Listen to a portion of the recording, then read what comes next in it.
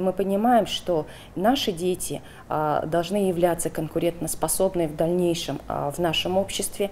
И, конечно же, в большей степени мы надеемся, что те знания, которые они получат именно в этих точках роста, безусловно, помогут им при поступлении, ну и, соответственно, при самореализации в дальнейшем уже как молодой специалист.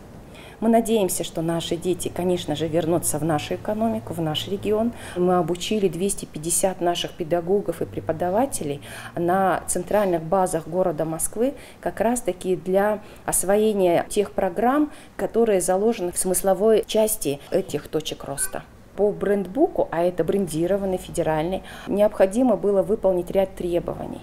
А, ну, скажем, например, комнаты не менее там, 8 квадратных метров там, для, например, освоения программ технологии, ну и так далее, разные требования. Да?